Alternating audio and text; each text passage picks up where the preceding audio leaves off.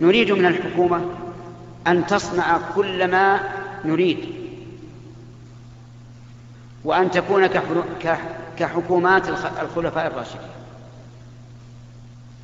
ولكننا إذا نظرنا أنفسنا وإذا نحن مفرطون. مفرطون أولا في حق الله عز وجل. عندنا كذب خيانة تقصير في الواجب. أليس كذلك يا جماعة؟ نشهد على أنفسنا بهذا. عندنا هذا كله. عندنا أيضا تقصير في حق الدولة. ما أكثر الذين يخدعون الدولة ويلبسون الأمور عليها ويكتمون ما تطلب الدولة إظهاره وهذا شيء يعرفه كل, كل واحد منكم ولا يخفى عليه.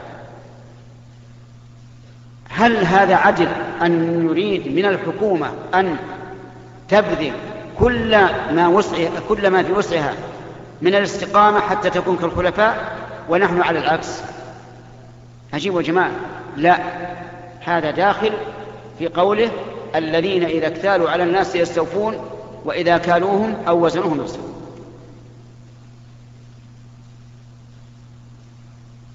ونحن نرجو الله سبحانه وتعالى أن يرزقنا ودولتنا الاستقامة على الحق.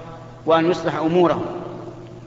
ونحن نعلم أنه لا يوجد اليوم على ظهر الأرض أحد من, من الولاة مثل ولاة أمورنا على ما فيه من التقصير وأنه لا يوجد شعب يمثل الإسلام والتوحيد حقيقة مثل ما يمثله الشعب السعودي على ما فيه من من التقصير.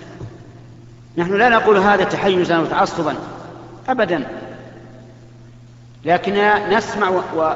ونقرأ عن البلاد الأخرى. فإذا يجب العدل.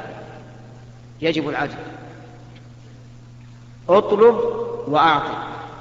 أما أن تطلب بلا عطاء فإن هذا لا شك من الحيف والجور